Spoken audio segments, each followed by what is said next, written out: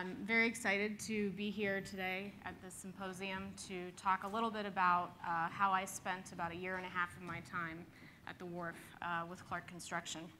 And so we're here to talk about the District Wharf at the Southwest Waterfront in Washington, D.C. Just very quickly, a little bit about myself. John hit a few of the highlights, but I've been with Clark for 12 years. I've been in the industry for 14, having worked in the architecture profession for part of my time during undergraduate and my graduate degrees at UVA.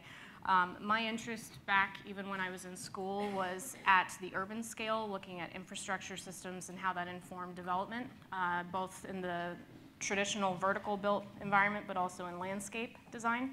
And um, so I was involved in the pursuit of the Silver Line, very proud to have worked on that for two years leading up to that award. And um, currently, right now, I run one of our eight Mid Atlantic business units uh, for Clark Construction here and uh, have a variety of active projects. But I'm here today to talk to you about my role as the design executive on the wharf. Um, and so, in that design build project, I had a counterpart who ran the, the building portion of it, and I led the design portion of the design build. So I could speak for hours about the project. It's a project and a team that was very near and is very near and dear to my heart, uh, but I'm going to hit on a few highlights. And the three highlights that I want to talk about today are some of the nuances of a very unique pr project that it is. I also want to talk about the formation of the best team to make sure that we had the right cast of characters uh, to execute this very aggressive project within a very aggressive timeline. And then also the mechanics of leading that team through the first year and a half of design. So this is the vision of the district wharf um, that we are now building into reality. Ultimately, this is what um, the Anacostia Waterfront uh, Initiative and then also Hoffman-Madison Waterfront in partnership with the District of Columbia uh, had envisioned. It's been a project that's been in gestation for well over a decade, and this is what we are actively building now. Uh, the project is divided into two phases, one and two, and all combined, it's 3.1 uh, million square feet of mixed-use development. This is the largest private um, PUD in the history of DC for the Zoning Commission, and it was a two-stage PUD. Stage one was accomplished in 2011, and then there was a two-part step to the stage two PUD, and that was achieved, accomplished, approved in uh, 2012. So just to give you a geographic orientation to where we are in space, uh, this is the lower peninsula, as I like to call it, of the District of Columbia. Uh, the wharf site is located right along the Washington Channel there. I've highlighted it there in red for you to see. Borders the southwestern edge of DC, right across from Hains Point. It's important to understand uh, the complexities of the site and the history of the site because it's very layered history and it started to inform some of the visioning and how the design came to be and sensitivities that we had to pay attention to during the development of the design and also the construction. So originally this area was formed by the Army Corps of Engineers in the 1800s to respond to flood concerns and to make it essentially a mercantile waterfront and activate the waterfront. They dredged soil um, from the Washington Channel to create this and so at the time the scale of the fabric in this area was a very small scale neighborhood, very granular. Um, actually, I want to go back for a second. This left image is uh, looking southeast across the, um, across the site in about the 1910s, and this image on the upper right is looking northwest right around 1931. So you can see the size and the scale and how this was starting to take shape. Um, here is another image uh, looking southeast, about late 1885, and you can start to see the small grain of it in the ships and how this is all starting to take on a very small scale feel. Uh, it was at the time a very active waterfront. And then came the 50s and 60s, and also the uh, construction of 395, which essentially carved a significant scar through the urban fabric. And in doing so, it displaced a significant number of residents and businesses. And this was something that um, was at the forefront of the vision and the planning when this project was initially conceived. So here are some images of some of the active open uh, retailers, shall we say, that are still open for business today. Captain White, Jesse Seafood, and right from our quarter one 2014 groundbreaking, open today to the public and also I might add many construction workers. This fish market is open and we still frequent it. Um, and so we're happy that we've been able to work with our neighbors to help keep their businesses open while we had a pretty massive intervention, shall we say, right next to their site. Um, this, this was a really important thing for Hoffman Madison Waterfront to be able to preserve this. It's a real part of the wharf, and they wanted to preserve and sustain the culture. And it, you know, interestingly, is uh, you know, it's of significance because it's the longest continually operating fish market in the country in one form or another. If you think of it in the likes of, for example, Fulton Market in New York. So um, when we started in April 2014, this is what the Southwest Waterfront District Wharf looked like.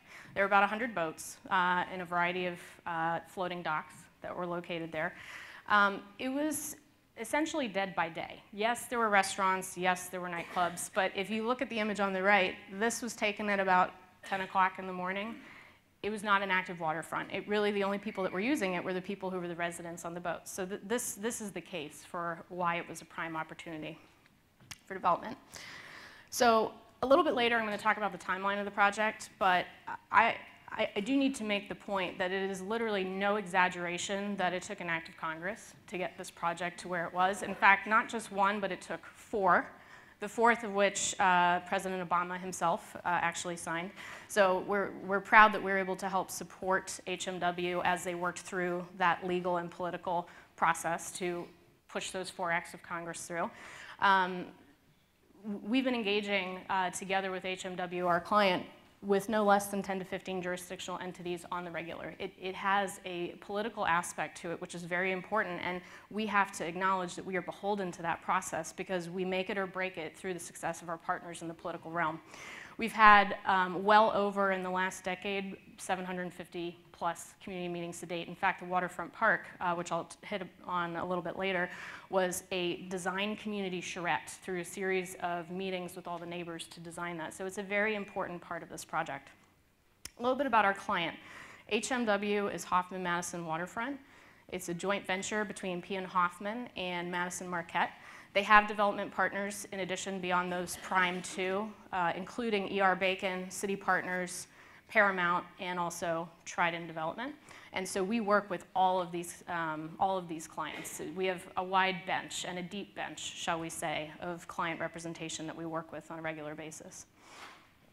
So this is the wharf in plan, and I'm going to do some diagrams here to kind of break it down into chunks and make the information a little more palatable as we get our arms around what this project is. So if you look at this, this is from west to east, the full scope of the wharf. And the left half is phase one, the east half is phase two. Uh, when you look at it all combined, some of the stats that are important to note, we're talking about 27 acres of land that have been divided into 11 individual parcels. There are four new public piers that are being constructed and over 49 acres of water that have been activated through the articulation of the wharf's edge. The key vision of this project was that HMW wanted to ensure that it was a highly walkable network. And so when you look at the scale of the city blocks that have been developed here, they're smaller than what you might typically anticipate if you look at the context of the fabric to the north and to the east. And that was accomplished mostly by putting the parking below grade. By putting the parking below grade, they were able to make it more walkable and reduce the size of each city block. Excuse me. Um, so we're talking about a total of nine buildings, um, four piers, two public parks. Some of the highlights uh, that I'll get into a little bit further on are a 384-seat multi-use uh, cultural venue, 651 residential apartments, 219 condos, 278 hotel rooms that we are building of the total 690 on the site, about 225,000 gross square feet of office space, and retail space throughout at all levels. Retail is a very important driver of the success of this entire model. So all in, we're talking about 1.5 gross, uh, 1.5 million gross square feet of total building area when you look at both the land side and the water side. So phase one is just over 2.0 million square feet. And in costs, it's about 1.2 billion in the design build. So I've highlighted in yellow the zones that are defined as phase one. Phase two is everything else. Phase two is about 1.1 million square feet and approximately 800 million um, to design and build that. So within the yellow zone, I'm going to highlight now the portions of the work that Clark has under contract. Um, so first off, we have parcel two, which is a 501 apartment, uh, 501 unit apartment building nestling around the new venue for the 930 Club. Has everyone heard of, everyone familiar with the 930 Club?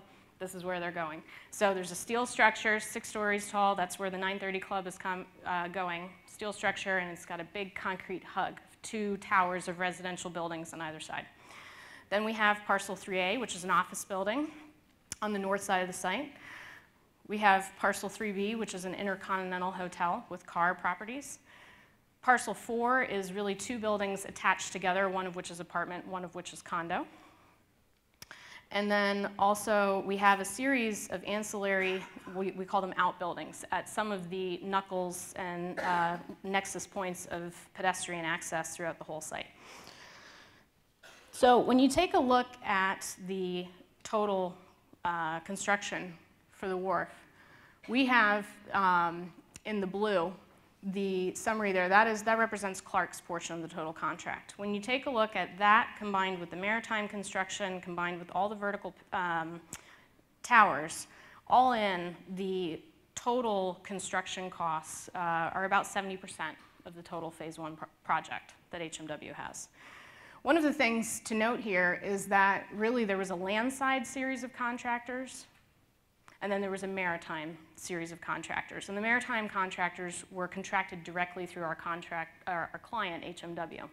Um, Moffatt and Nichol was the maritime engineer working directly for HMW. They had a person full-time working on the project, just on shepherding through the design of the maritime uh, engineers. And um, they had two prime maritime contractors, Cianbro and Bellingham, and we worked with them day in, day out in coordinating. And what's interesting about it is sometimes maritime contractors can have the majority of their material flow arrive by water, but not always. And sometimes they had to have their material arrive to the site via land, which meant while we were ripping open this site and you know, going full throttle on beginning the excavation, we had to carve out arteries of pathway so that the maritime contractors could come in from the land side and bring concrete, massive concrete pours out to their waterside interactions. So this was daily coordination. And I've highlighted here on the screen, Cianbro had the, um, the installation of the permanent, we'll call them stationary piers and docks. Bellingham had the installation of the floating docks. Each were equally important in their own right, but we had to provide access from the land side through our site while we had tons of cranes and tons of activity to ensure that we were affording them equal opportunity and access to build their scope of work. So that required, right off the bat, hand-to-hand -hand coordination every single day walking the site. This is a photo that we took from Tower Crane 5 of the seven.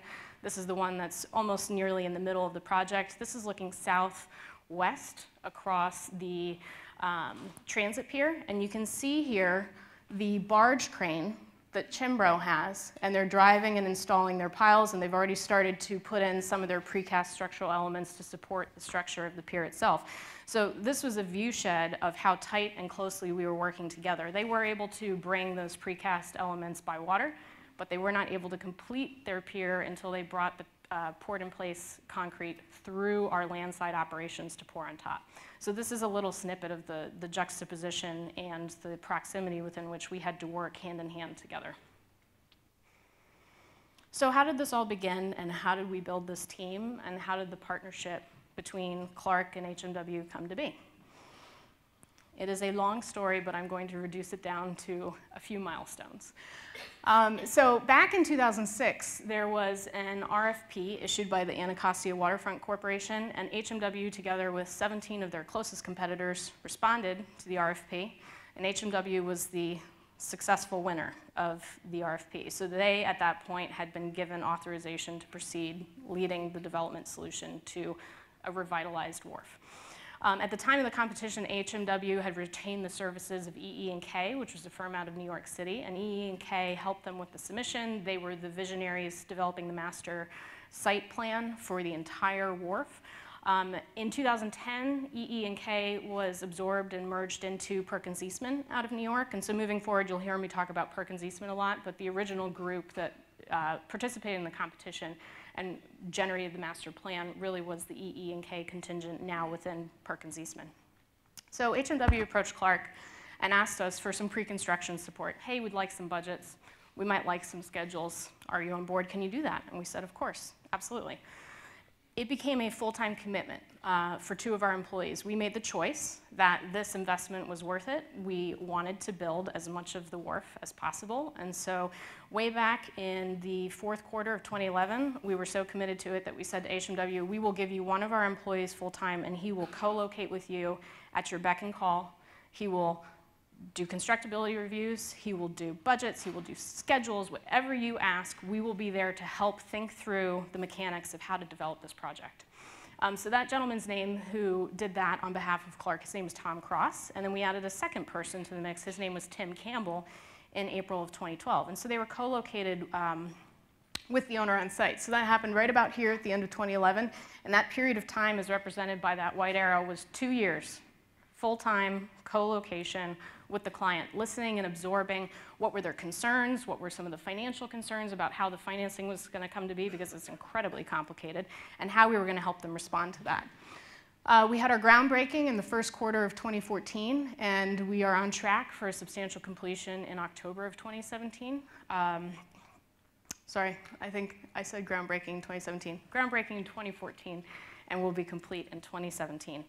Um, so at a certain point in time, though, it was about the fall of 2012, this was going design, bid, build, design, bid, build, design, bid, build, and at a certain point, HMW reflected and thought, based on where the markets, financial markets are going to be, based on our desire to be going vertical in construction by a certain point in time, we think we need help. Can you take this design build? And of course, when a client asks you if you would like to do a design build, a half a billion dollar design build, there is one answer. The answer is absolutely yes.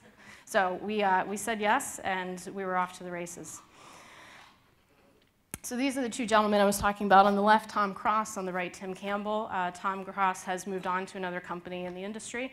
Tim Campbell is still with us. We now fondly refer to him as the Oracle um, because anytime we need to dredge back into history and understand about how some conversation started, we go consult with the Oracle. And hands down, he always remembers what the history was. So it's really nice to have that continuity of presence. And, and the client, jokingly, they too start to call him the Oracle. They'll come down from the third floor. We're co-located at the Channel Inn, and they'll come down from the third floor and consult with the Oracle about how, how did we talk about this four years ago? What did we initially say we were going to do? Um, so without Tim and Tom, we would not be here um, building this project today. I wouldn't be here talking to you about it. In March 2013, we memorialized the Memorandum of Understanding that this is going to be a design build moving forward, and we were off to the races. So in the formation of the team, there were many consultants on the owner side but in us taking this on as a design build, we assumed some of the consultants that the HMW team had, and they then became ours. So we inherited through a series of assigned contracts the design team, and then we added and shaped it and rounded it out a little bit further with a few others. So there are many consultants and designers and engineers on this project, but I'm going to highlight just a few right here. At the very top, the top three logos are the three prime architects on the project. Perkins Eastman, as I mentioned, formerly E&K, they did the master plan concept. Um, they designed parcel 2, 3A, horizontal, all the horizontal sitescape, uh, hard surfaces, the parks, the ancillary outbuildings. WDG is the um, construction architect for um, parcel 4, which was originally designed by Handel, but WDG is the entity with whom we have a contract right now. And then Cunningham Quill is a very, um, very talented specialty firm that they do very un unique boutique types of designs. And so they are the architect on the Capital Yacht Club, which is a jewel box project. I'm going to show you a few images of later. Structurally, next tier down, always supporting the architects, right? Structure, supporting the design. So we have SKA, Thornton Tomasetti, and Ehlert Bryan. SKA and Thornton Tomasetti are actually in a joint venture together, which was very smart and strategic of them to very early on say, hey, listen, we can fight for pieces of the pie, or we can joint venture and do the whole darn structural solution. And that's what they did. So between SKA and Thornton Tomasetti, there's a pretty clean divide when we look at the um, um, foundation to grade structure and how that communicates up into the towers. SKA primarily has parcel three to the east, and then Thornton Tomasetti has parcel two to the west. Um, so, and then Ehlert Bryan was the structural engineer on the Capital Yacht Club with Cunningham Quill. Then we have Lab and LAI, um, who were the landscape architects for um, the initial concepts of the parks and then also Waterfront Park. Then Michael Ferguson came on as the landscape architect for the 7th Street Park. And Allen and Shariff is the MEP engineer. They are actually working nest, nested under Helix and ARC. Helix and ARC are our captive design build subcontractors that we brought to the table. You know, we bid it out competitively, but these are the partners that we brought to the table. And in order to ensure integrity of the MEP design, we nested Allen and Shariff under both Helix and ARC. So that is essentially the cast of characters that we worked with every day. And that is the team that my Clark series of design managers led through this process for about a year and a half. So this is the org chart of the design team.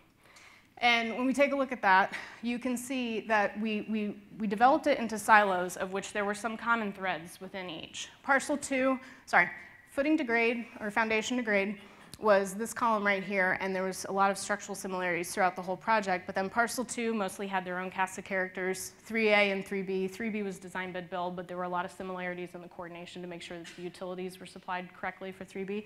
Parcel four, horizontal, which was all the hardscape, landscape, the site elements, and then also the Capital Yacht Club. And so I had a design manager in charge of each one of those silos, and we had a lot of meetings. There were a lot of meetings it was chock-a-block. For 18 months, it was 7 to 5, Monday through Friday, and it, it, could have become a very monotonous thing, but we tried to switch it up and keep it lively to keep people focused. Uh, so those are all the companies that we worked with. And when you look at it in totality, it was about 30 consulting firms, well over 150 designers working on the design at any one given time. It's a lot of people to manage. It's a lot of people to motivate. Um, it's a lot of people to keep focused on varying milestones as you work through the project. So here's a sample from September of 2014 of my calendar. This is what a typical week looked like. And what we would do is we tried to set predictable expectations for the team where parcel two was on Tuesdays. Parcel three and parcel four were alternating Wednesdays. Horizontal, footing to grade, all of the parks would be on Thursdays. So the team got into a rhythm and they could anticipate what the weekly milestones were, the bi-monthly milestones were, and the monthly ones as we marched towards 30, 60, 90% CDDs. Because at the time we broke ground in April of 2014, we were only at 100% DDs. We had to bring it from 100% DDs to 100% CDs within essentially 16 months. So we had um, a very busy calendar. And this is where the magic happened. Uh, there was a hotel uh, down at the waterfront called the Channel Inn. Anyone ever heard of the Channel Inn? It was funny because after we broke ground, about four months after, people would still come from Expedia. They thought that they could stay there, and they'd roll up to the design office with their suitcases, and they're like, can I check in? I'm like, I'm sorry, no, you can't. This is not a hotel anymore. We transformed the Channel Inn with HMW into a headquarters, essentially, and HMW is on the third floor, um, or P.N. Hoffman's on the third floor, Madison Marquette's on the second floor, and then Clark is on the first floor. Um, so within this building, there were three existing rooms that were part of the hotel, and we repurposed those. So brace yourselves for this glamorous view of these rooms. Um, the room on the lower left, we called that the captain's room. That's where the majority of the heavy lifting large group meetings happened. We could have 30 people in there up at any given time. It was also the vault. There was no internet access, but for the Wi-Fi account where I would give 10 lucky individuals access if they were delivering their drawings on time. So it was always a fight to see who could turn their drawings in on time because you would get the Wi-Fi access when we had our production meetings. It kept people mo motivated. Um, the upper right-hand corner was the stateroom, and the stateroom is where we would have some of the more formal um, meetings if we had to do a presentation to the owner or we had to, you know, work through a new scope of work that we had to develop, we'd reserve that room for that. So a lot of, I know these rooms may look a little drab, because they were, but um, we, we definitely had some great production coming out of these rooms. This is a perspective from that same tower crane I talked about before, Tower Crane 5, um, looking southeast about midsummer of last year. Um, so essentially it's a two-story uh, deep um, parking garage. And in order to even begin to think about how we were going to excavate the site, in order to prepare the site, we had to do a few things. One, we had to raise the grade of the site from the water's edge by reconstructing the entire bulkhead along the, the uh, south edge right there. So there was an existing bulkhead, there was an existing sheet pile, but nobody, nobody wanted to take into account the sound structural integrity of that and just take it as the gospel. So essentially, Moffatt and Nichol um, started from scratch and said, okay, we need to pretend that we're not relying on this and come up with their own structural system. So I'll show you a detail in the section, but we worked very closely with Moffatt and Nichol and the maritime contractors to build the new bulkhead. And that involved a series of battered piles, sheet piles, and then a working slab that connected it all. We also had to relocate several thousand feet of water, sewer, electrical, telecommunications lines along Water Street. Water Street, if you look in the distance on the horizon, you can see the old Water Street. That street came all the way through the site, and all those utilities I just mentioned ran all the way through the site. So until we could get those utilities cut, capped, and relocated, the site was cut in half. It was bifurcated. We really could not hit a stride on production until we got all those utilities relocated. So day one, our focus was engaging with the public utility vendors because we needed their help in order to get the utilities relocated because without them we were totally crippled. So that was a heavy focus in the first six to nine months. So two, two stories of underground parking, about 700,000 square feet, 1,492 vehicle spaces, and just over 1,000 bike spaces, speaking to the walkable, bikeable community uh, that we are looking at here. Uh, in this diagram here, this is the final as-built of all the piles. We had a total of 5,736, sorry, 763 piles that we drove. And so this is the final as-built of it. And I've, I've done a little gestural diagram of where the WMATA yellow line runs underneath the site, because we also have a WMATA tunnel running under the site to add that complexity. Um, on the west side, there were eight zones of uh, pile driving that we divided into approximately 2,700 piles. On the east side, we had five zones. Um, fewer zones, but more piles, because that makes a lot of sense. Um, and um, all in all, it's, it was a pretty massive hole. Uh, it's a pretty massive development. But when you think about the total cubic yards of soil removed, we were talking about 300,000 cubic yards, 33,333 trucks. I mean, it was, it was a sensitive item for DDOT. We had to work very carefully with them on our truck routing plans and making sure that we were respectful of the adjacent residential communities and that we weren't starting before 7 o'clock and we had to pull as much dirt out of the hole within our allotted time each day. So one of the interesting things that um, is the hidden benefit of the way we've baked the sustainability into every layer of the design is that one of the most sustainable aspects of the project is actually happening right below your feet. So this wharf, you know, is essentially, when we refer to, refer to it as the wharf, we're talking about essentially the waterfront edge. Some people may call it a, a boardwalk. That is very taboo. We do not call it a boardwalk. It is the wharf um, with very beautiful porphyry pavers. And right underneath the porphyry pavers and at this edge right here, the water's edge, you can see the boats. This is essentially the wharf right here, various different patterns of the porphyry pavers. Underneath, you start the edge of the parking garage. Within the parking garage, there are two monumental gray water cisterns totaling about 800,000 gallons. And basically, that system is reclaiming all of the stormwater that is not being absorbed by the trees on the site or the green roofs. And that is a pretty remarkable quantity of water to be processing. And all that is happening right below your feet as you're walking along the wharf's edge. So while this technically isn't part of the Anacostia watershed, um, the responsibility is a very important thing to make sure that we're good stewards of the environment, and that was one of the day one concepts for HMW.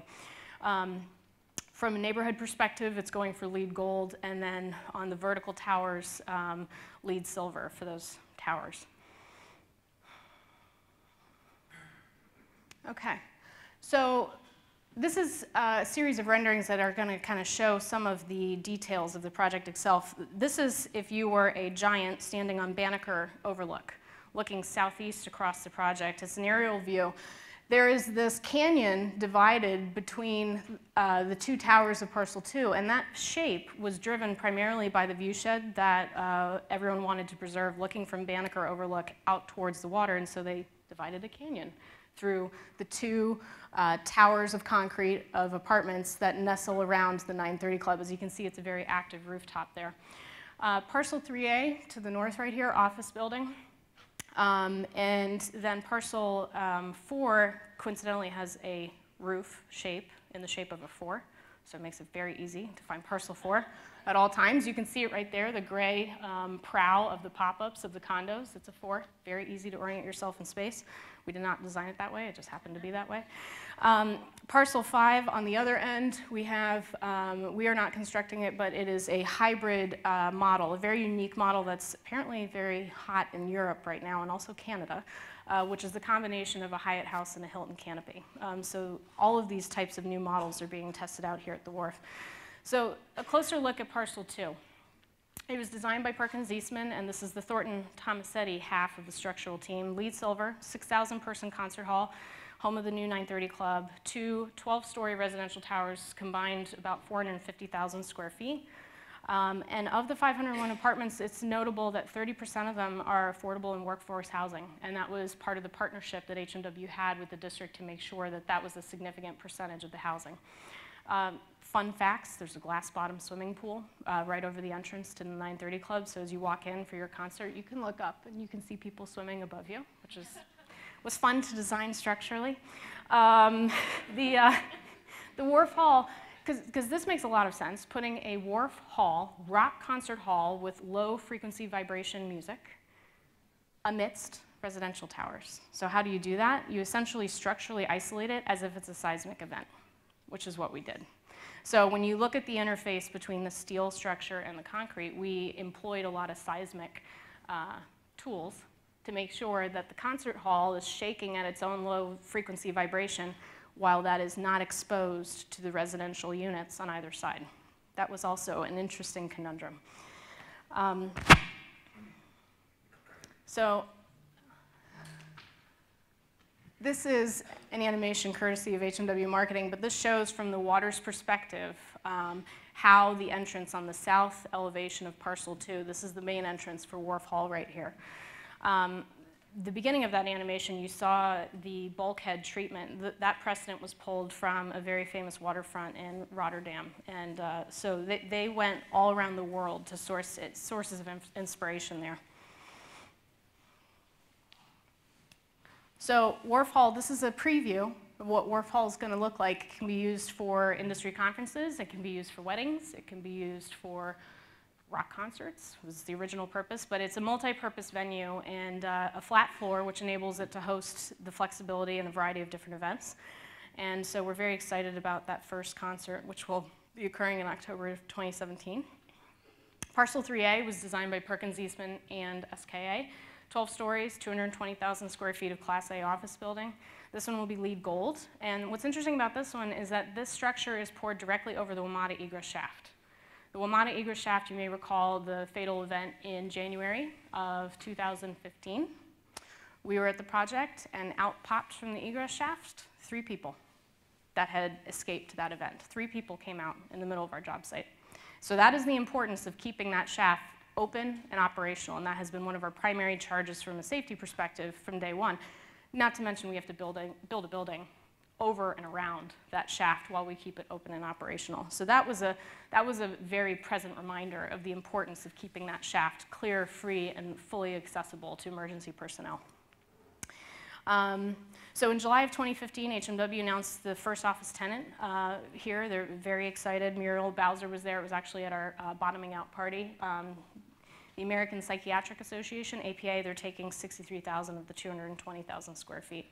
And just behind it, you can see the other um, parcel 3B, which is the Intercontinental Hotel, 278 keys, which we are building for Carr Properties.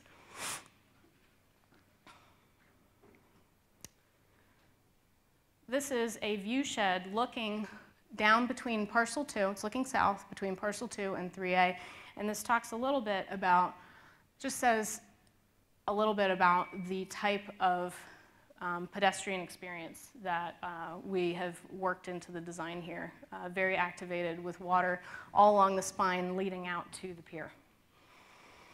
This is the Capital Yacht Club jewel box I was talking about, the Cunningham Quill uh, specialized in. And so their structural engineers Ehlert Bryan. Uh, it's a two-story building housing the Capital Yacht Club. So it's essentially for private use. Um, it has a butterfly roof, stone-clad facade, decorative metal panels, wood, wood louvers over the windows, and it's built atop a pier in the channel, which is servicing about 98 slips for the Capital Yacht Club. It has a meeting space, a bar lounge for the members, uh, shower facilities for those that may not already have a shower on their boat. This is parcel four, originally designed by Handel out of New York, and WDG is our um, construction architect together with SKA Structural. This will be LEED silver. It's two 12-story towers, one to the north, one to the south, bifurcated by a road that runs, or uh, it's really a pedestrian walkway that bifurcates it, running in an east-west direction. 370,000 square feet total, 112 condos, and 150 apartments. One of the things that we're very focused on uh, is the quality control going all the way from the initial concept through to the articulation of the building envelope. And so we have on the site, just across from the channel in, three different mock-ups for parcels 2, 3A, and 4.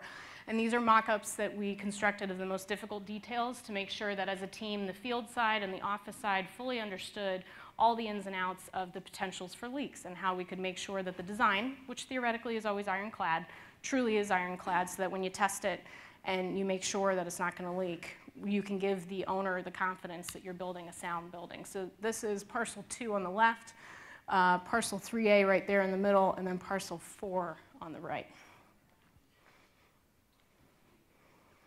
This is a view of Pearl Street, that uh, pedestrian uh, breezeway that I mentioned that uh, runs through and underneath parcel four. This is a view of what the retail experience is going to feel like. Um, for the project. So that's looking to the west through that pedestrian area there, and you can see the um, prevalence of the porphyry pavers there. The retail theme is very focused on the music and the entertainment experience. That was a big part of the financial model that HMW crafted to make sure that one of the generating seeds of if you build it, they will come was the cultural entertainment restaurant uh, component of their mix. So this was a huge part of their vision of how they were going to draw people down to the waterfront. Um, this is a view of the wharf looking east towards parcel 4. You can see the prow of parcel 4 jutting out right about here. This is parcel 3B, uh, the Intercontinental Hotel. Um, but again, you get a sense of the size and scale. And as I mentioned before, the water collection system is directly under there. You can actually see the trench drain that runs along the east-west, but that is a big part of the sustainable solution for this project. Um, and one of the things that's really um, interesting is the fact that so many micro units are present in this spread of um, the mix of the unit types. Some of the micro units that we have in parcel two are 350 square feet with Murphy beds, quite lean, the concept being that you could move in with a suitcase, um, highly designed and highly amenitized. 2010 census was showing that 82% of the households were without children and half are single people living alone. So parcel two, uh, 501, 501 apartments, is very geared towards that industrial, hipster, um, nomadic, shall we say, lifestyle. Um, so that was part of the, the solution there in the mix of units. When you take a look at parcels two and four, this is parcel two specifically, um, I mentioned earlier that 30% of the units are affordable and workforce housing distribution, and so that was a very important part. Here it's highlighted which units those are. Uh, we've worked very carefully with HMW and with our subcontractors during the design and the bidding process to make sure that we were putting in all the appropriate enabling uh, requirements as well for ADA. So with our parks, there are two prime parks that we're building under phase one. One of them is Waterfront Park all the way on the southeastern edge. The other is the 7th Street Park, which bounds the eastern edge of parcel five. Um, Waterfront Park was a collaboration with the community. Um, there were people that had a particular fondness for certain trees in these community meetings and said, I need this tree to be saved. And so we saved that tree and we relocated it as part of our design. Um, and then 7th Street Park is a kind of very linear park that runs from uh, Water or Main Street down to the pier, the uh, 7th Street Pier there. So conundrums with constructive solutions. I'm going to um, show you some technically challenging ones and then also some lighthearted ones because you have to mix a little bit of the lightheartedness with the intensity. So the bulkhead, we talked about a little bit how we interfaced with the maritime contractors, and the bulkhead truly was where the water met the land in all ways, shapes, and form. This was a image from June of 2015. This is right around, uh, this is about the eastern edge of parcel 3B, looking south across the water. That is the uh, uh, pier that the Capital Yacht Club is being built on. That building goes right on that, right there. Um, and it's an excellent perspective of the fact that when we were at the bottom of the hole, we were well below the water line. That is a humbling thing.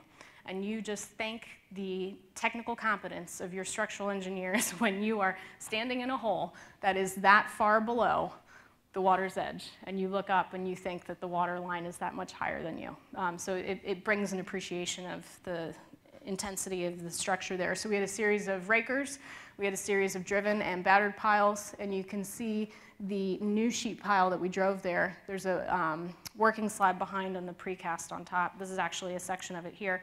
You can see the original, original bulkhead right here, sheet pile with the original bulkhead on top. We um, worked together with HMW with our two sets of contractors to install the driven pile, the battered pile, the new sheet pile line, and then the working slab on top and the precast, which is the substrate to which that fancy um, marine waterfront bulkhead, the timbers, are attached. That required many, many meetings between three different sets of structural engineers, and um, it was a very tough nut to crack, but uh, over the course of two years, it was done quite successfully, I would say. Another would be in parcel two. I mentioned it earlier, putting a rock concert hall in the middle of a residential building not necessarily intuitive. So we had to make sure that we had a very careful treatment of the acoustic isolation of this work. And so uh, we actually retained not one, but two acoustic consultants, Cerami and Akustiks. Cerami was focused on the preservation of the residential acoustic experience and making sure that contaminants from the concert hall didn't come into the residential units. Akustiks focused on the integrity of the sound quality within the conference, uh, within, within the concert hall. Um, and so when you have two different focused acoustic consultants and we have to find a way to make them come up with a wall construction assembly that serves both needs, you have a lot of interesting conversations and you learn a lot about uh, mass and air and what it does for sound. So um, happy to say that we came to a solution that worked on every floor. Here's a diagram from one of the floors at the first residential floor, actually of parcel two. You can see the rings of the residential rounding to the northeast and the southwest. Those are the two towers of residential units where bedroom walls and bathroom walls are literally right up against the edge of the concert hall. And this red line here denotes the special treatment that we had to put in place acoustically to accomplish what these two consultants were having us do. Um, with regards to the tower crane and the access of concrete to the site, we have seven tower cranes on site. Um, two specific choices that we made in the management of the concrete flow to the site that were important. Number one, just like the Toyota way, you, you never really want to have one single source of a supply for any particular widget. In our case, with concrete, we had a very um, beginning conversation between Clark Concrete and Miller and Long to make sure that in answering the question of how to get 3,000 cubic yards of concrete to the site in any given week, um, which is at nine yards a truck, about 333 trucks per week. It was a logistical nightmare. How were we going to do that? So very earlier on, we made sure that we were having conversations between Clark Concrete and Miller and Long on that. Um, I think it's a testament to the collegial relationship that we have with Miller and Long there that we could prepare ourselves in the market for what was about to hit. And then secondarily, um, you know, the days of preparing for pours and pouring concrete at the wharf are long. They're 12 to 13 hour days. It is uh, just in time preparation for that pour.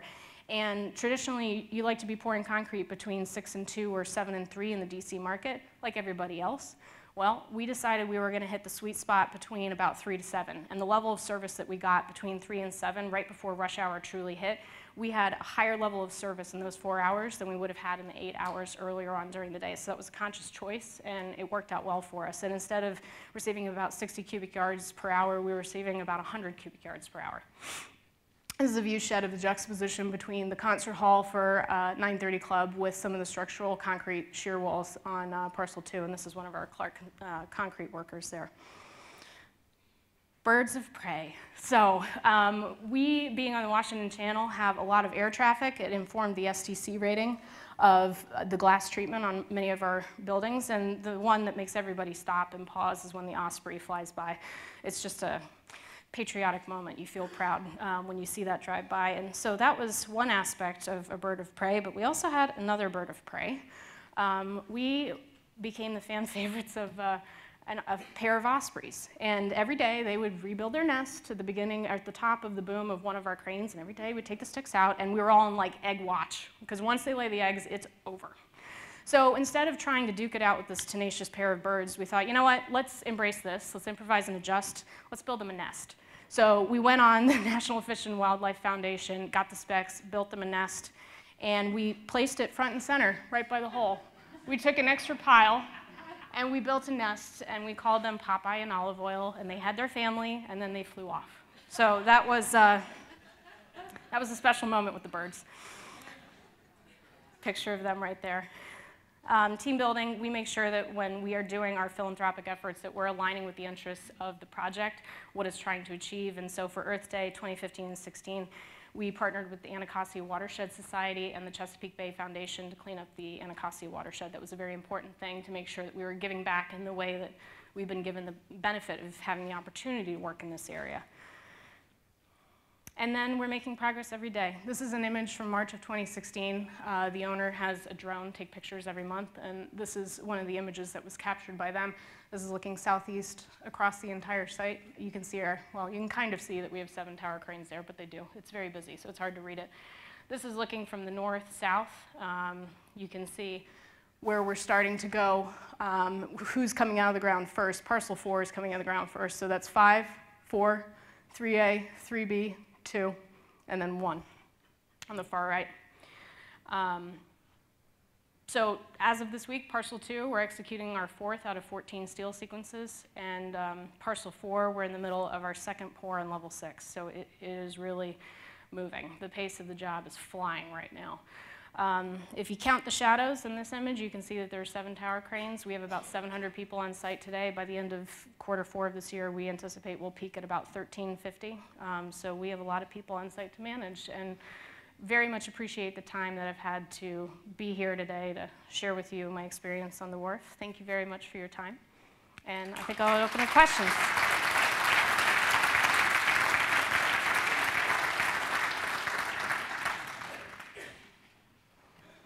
Yes, sir.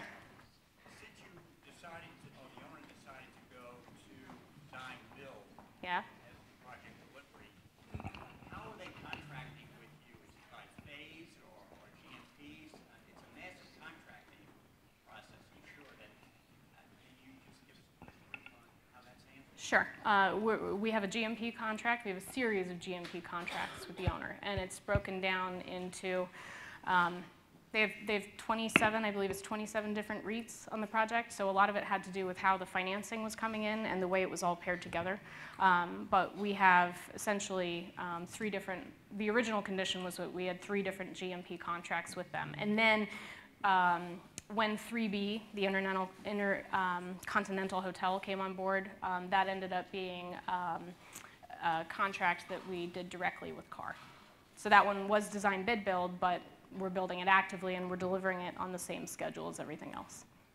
Lots of contracts and lots of recs. The rec is about that big. Yes? Us?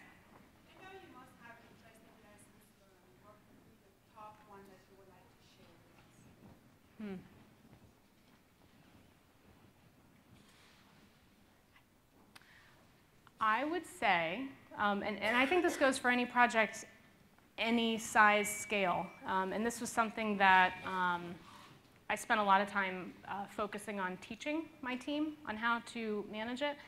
But when you have a team of 30 people that are in a meeting trying to advance a concept, it is very easy for there to be tacit dissension.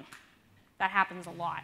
So I, I would say, and, and I, I picked up on this within the first two to four weeks of the project, that tacit dissension within, you know, say a very specialized engineer sulking on how the direction of a certain design solution is going. And the, the, role of the design manager and the design executive is to scan, observe, and pick up on the subtle cues and call it out. Not in a accosting kind of way, but make sure that everybody's voice is heard.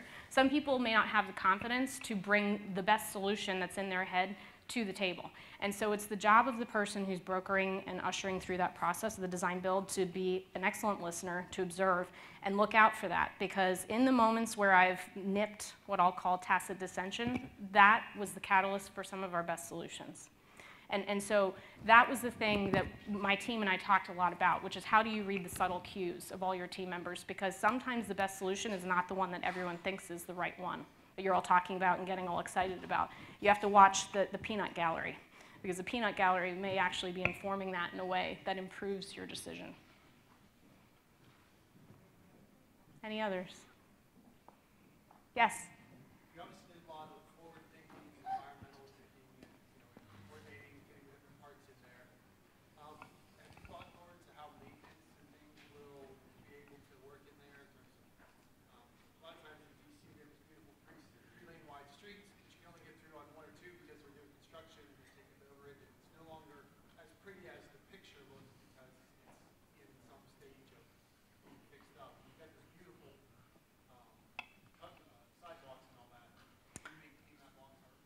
So, so I think I'm hearing maybe three questions within your question. The first one is about how did we design, how did we design together with the owner what the long-term operating and maintenance aspect of that was? They had retained during the initial development, um, during the design development phase, consultants who were helped shaping how we were going to pick the mechanical and electrical systems that were best suited for long-term services. We've done a lot of brown bag lunch and learn with the owner on when we were pulling what type of you name it, uh, building management system or elevator system, we'd weigh the pros and cons of the long-term 5, 10, 15-year maintenance and management, and we'd make a decision together with the owner about not only what worked best for the budget, but what worked best for the long-term solution. So that was very, uh, that was very present in the forefront of our mind when we were thinking about that. Um, I think the second part of your question, maybe it's only two questions within the question, is how do you maintain this beautiful vista when there's the, the price and the cost of progress, which is construction, right? All my neighbors always complain about these roads are atrocious, you know, they're under renovation. I'm like, yeah, but that's the cost of progress, right? I mean, we're improving our quality of life by renovating and building better cities and places to be. Um, so yes, it's a mega project, and phase one has um, definitely been a presence in the traffic impact, shall we say. Um, but we have done the absolute, I think, very best proactive um, tra uh, traffic control plan that we've done. Uh, that we've developed and worked very closely in collaboration with DDOT, and um, I, I, I see it as an investment in the future. And yes, there is a momentary um, inconvenience by that, but I think it really is part of the investment. I mean, when you look at the final solution of what the design offers with regards to the bike lanes and the walkability and the connection to the modes of public transportation, it's quite remarkable how this is going to become a new epicenter on the southwest waterfront. Time for maybe one more question? Sorry, there's two. In the back? Job site safety plan, Yes, sir? job site safety plan. You- You have a lot of construction safety. Yes, sir. You're asking what is it?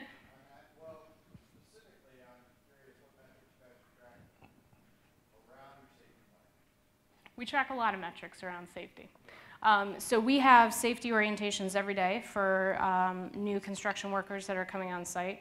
Um, actually, last week was Clark's National Safety Week, um, where we have a series of um, initiatives that we make sure that we're conducting to practice our emergency preparedness. We conducted uh, emergency drills on every single Clark construction project in the country on Wednesday morning of last week. Um, so we made sure that we communicated that to the workers and the neighbors so that without telling them how to specifically react, we knew that on this day there's going to be a drill and here's where our rally points are. Um, we track, with regards to metrics, we track everything. We track near misses, we track first aids, we track recordables, we track lost times, and we take all of them very seriously. I personally treat near misses as seriously as I do lost times. Um, and you know, in, in my mind, if I can just kind of sum it up for you, at Clark, um, safety is a core value. It's not a priority. Priorities can shift as things and circumstances happen throughout the day. Your priorities shift, right? So we can't afford for safety to be a priority because then there's the risk of it not being the number one priority. For us, it's a core value. Um, and that informs every aspect of how we plan the work. We had many conversations about the safe installation and erection of the steel sequences back when we were starting our very first 30% CDs conversation on the steel in parcel two. We brought the steel subs in to talk about what is the smartest way to design this steel, not just so it looks cool and functionally it works structurally, what's the safest way to actually erect it so that we can make sure that we're building it safely with the teams. We, we, we led those meetings with the subcontractor community. Did I answer your question? Was that a thumbs up? Okay, great. There was one other question over here. I just had a question about how the um, existing retailers fit into the aesthetic of your new design. Meaning like captains and Jessies? yep. So um, I don't actually have an image of it here, but on the very northwest side of the entire development, um, one of the structures is actually going through a, a historic preservation. Um, there is going to be a rum distillery that is added down there, and that, if you look at the scale and the size of the structures within that area there, it gets down to the one to two story level. So we have 12 stories mostly across the, the projects that I just described, but on the far west side of parcel one, the scale drops down to be like an open air market where there's going to be a farmer's market on Saturdays and there's going to be the rum distillery and there's going to be Jesse's and Captain White. So that scale drops down to preserve the integrity and um, the uniqueness of that historic aspect there. Any more? Thank you very much for your time. Appreciate it.